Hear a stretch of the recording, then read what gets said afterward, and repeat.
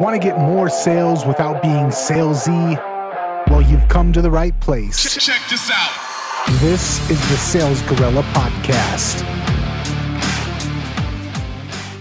All right, welcome back to the Sales Gorilla Podcast with your host, the Sales Gorilla himself, Landon Porter. Landon, how you doing, man?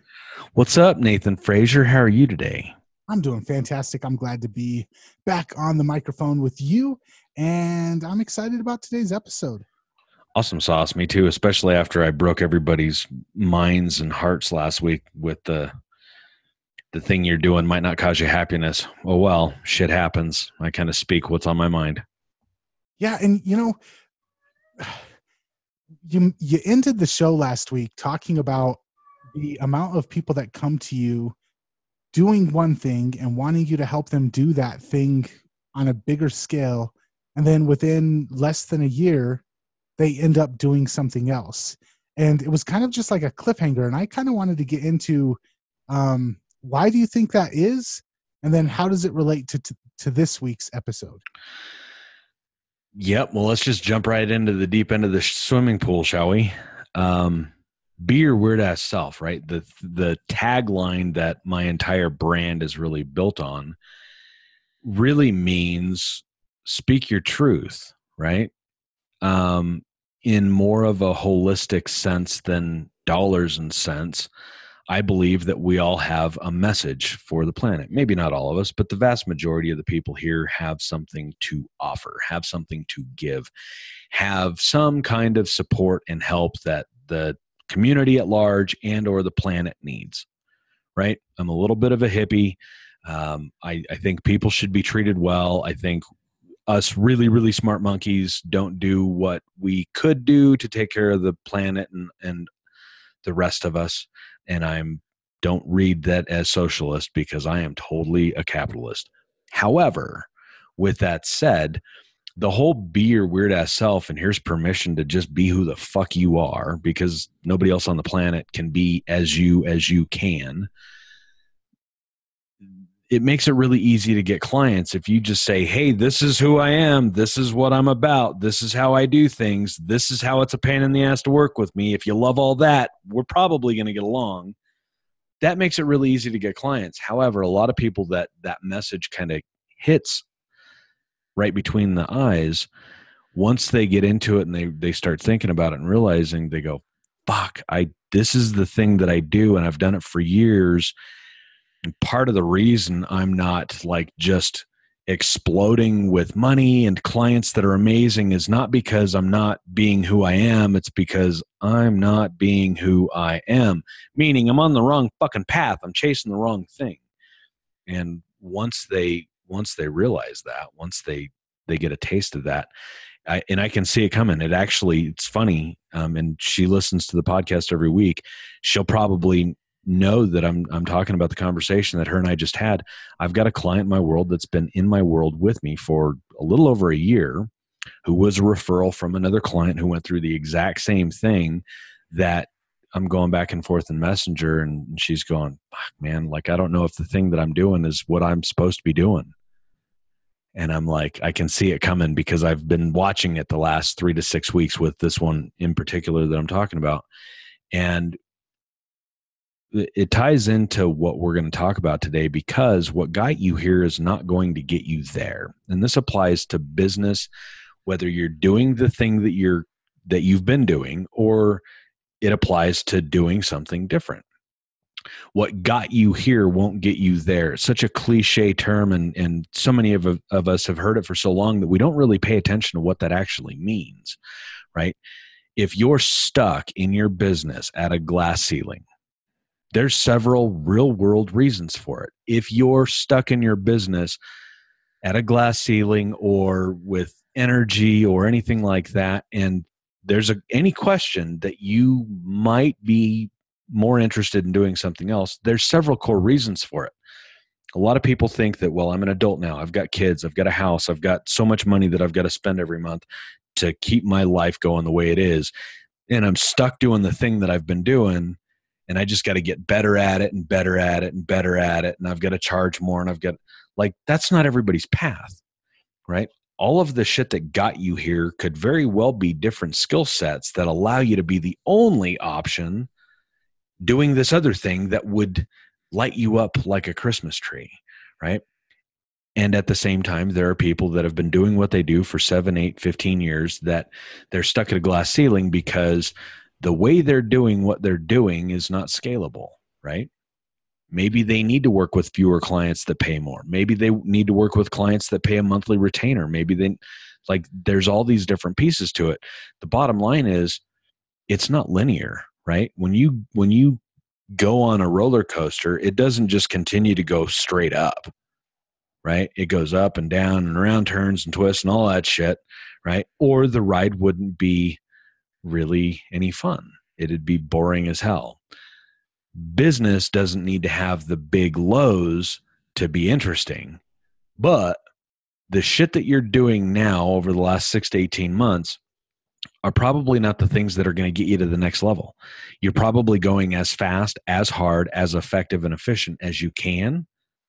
And you need to adjust that. And this is like, this leads us right into expansion and contraction, right? We, we start in our business and we learn all these things and then pretty soon it's like well these three out of ten things are what actually moves the needle. So i'll stop doing those seven things. Oh my god now i've got all these resources and all this time. And then we add more shit to our plate right? Now we've got nine things and four of them are moving the needle. Expand contract expand contract. What got you here won't get you there what's the next there for you and your business and then you need to ask yourself, what are all the things that I'm doing? What am I spending my time and my resources on that are not moving the needle? And unfortunately, a lot of people are going to find, fuck, I can't not continue to bring on new clients because I don't know how to package the thing I do in a different way to make more money from less people. Oh my God, what do I do? Right. So when you're saying all this, what I'm seeing in my head is like a triathlon, and it's one overall race. You got one goal, but for different segments of it, it takes different things. So if you start off with swimming, the same breathing techniques during the swimming section aren't going to be what's going to be helping you get past the running section. The backstroke or the um, whatever muscle techniques that that it takes to get through the water section of building your business. When you get past that point if you if you get up onto dry land and you're still trying to do a backstroke to win the foot race it's just not going to work. Is that kind of what you're getting at?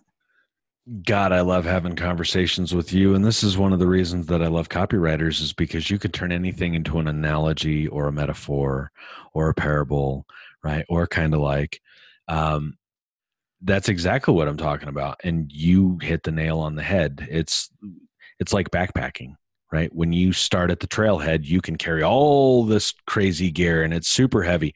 By the time you get halfway up the mountain, you can't carry that much shit because the air's a lot thinner, right? Shit's changed. Business is the exact same way. So when you get to that point, when you get to the point where now you're out of the water and you're on the racetrack, how do you go about planning for that next and, and obviously it's going to be a case by case scenario but there's got to be some sort of um, logic behind what you do before you start running the next segment of the triathlon. There is and this brings me back to an episode that we did i don't know two or three months ago maybe four months ago. Um, it's all based on decision right? If you're wanting it the thing you do to be different or to provide different results, you have to make a different decision than you've been making. And to tie this back to a previous episode, you got to get clear on what it is that you want, right? Change for change's sake it makes no sense. Why are you making a change? And then you look at that and go, okay, cool. Like I just went through this and I'm I'm still on the tail end of it. Um, my calendar was buried again right? I spent 18 months getting this business to where it was at, and I finally was able to like just take everything off my calendar. And I was literally down to like three or four hour work weeks for a couple of months, and it was awesome.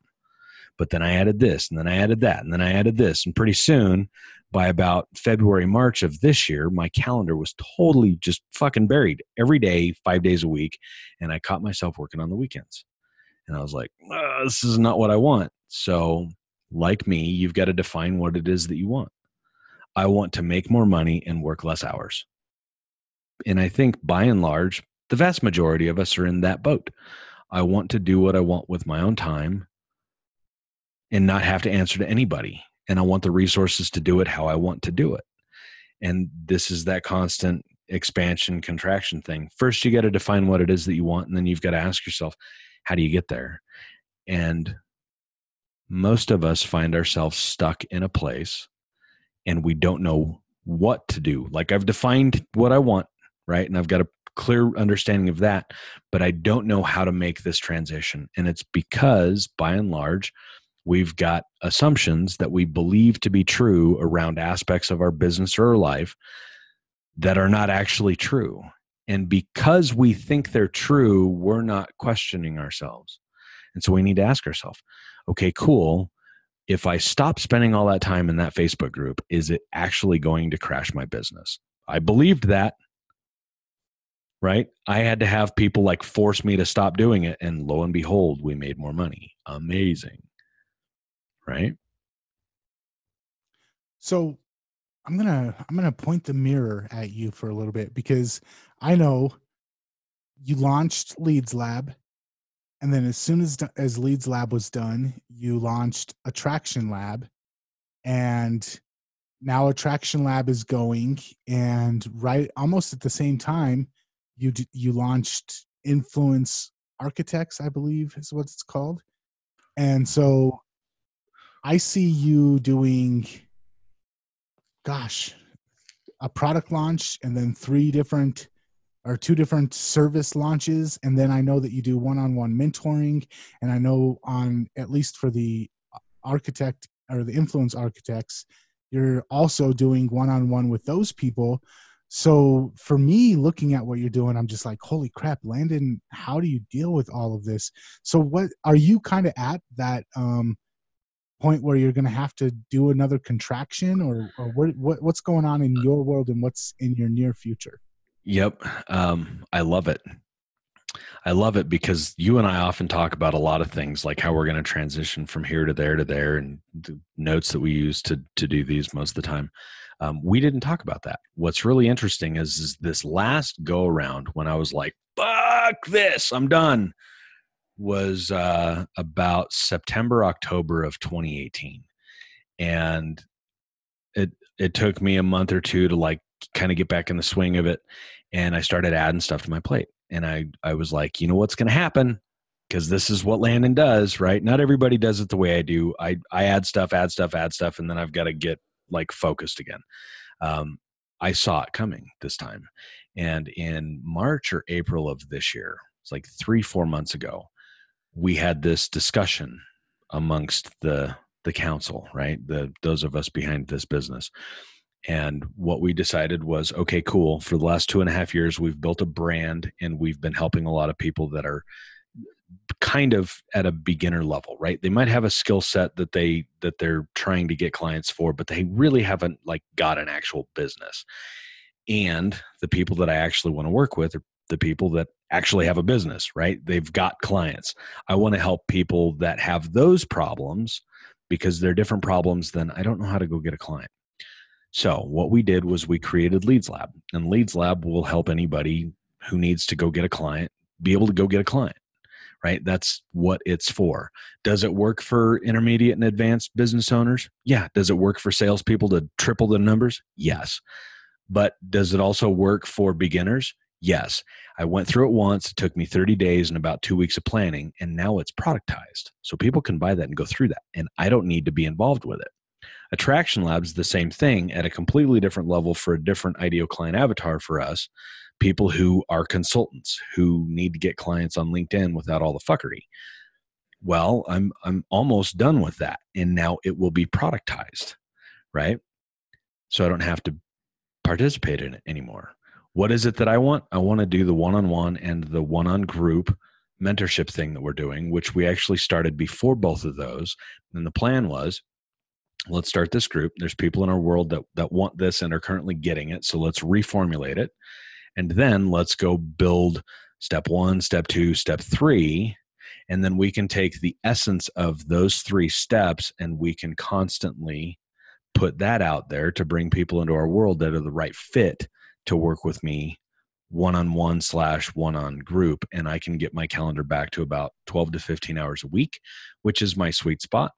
And I'm almost there. I'm literally two or three weeks away from being in that 12 to 15 hours a week thing. And uh, yeah, part of it's I'm a little crazy and I need to have 300 spinning plates on occasion, right? Or I get bored. So I do this to myself two or three times a year. I get way overloaded but now I know that I do that, and I've got processes I can put in place to allow me to do that so I can get the creative freedom out there. And then I can already be planning how to hone that down before I start adding shit to my plate. I'm going to say I feel every single thing that you said, and I'm betting that a lot of the listeners probably go through that same almost self-sabotaging roller coaster that we send that we uh, seem to fall into habitually. So um, i don't think it's just you. I think a lot of us go through the same thing.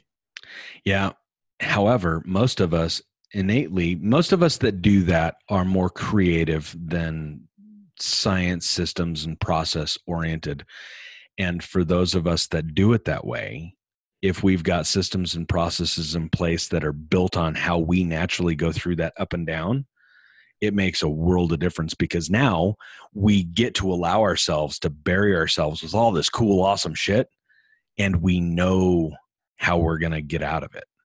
And in having that, it changes the perspective on how you go about living, which at the end of the day, like we talked about last week, what you spend your time doing is what causes happiness. Mm-hmm. So, any final thoughts before we're out of here this week? All of the shit that you're stuck with is probably because you've made assumptions and conclusions about something being true that's not actually true. If you've got an actual business, mean you've got current clients and you do a specific thing and and you've got an offer and they can buy your thing and it's and you're stuck, send me a message if you're not in our main group, go join us. It's it's Gorilla Juice on Facebook. You can find it. Check out the other episodes on our podcast, salesgorillapodcast.com. And if you're actually stuck and you've actually got a business and you're looking for another perspective, send me a message. Nice. All right, Landon, I appreciate the conversation. I know the listeners do as well. And until next time, man, I will catch you later. Peace out, Cub Scout. I love some of you.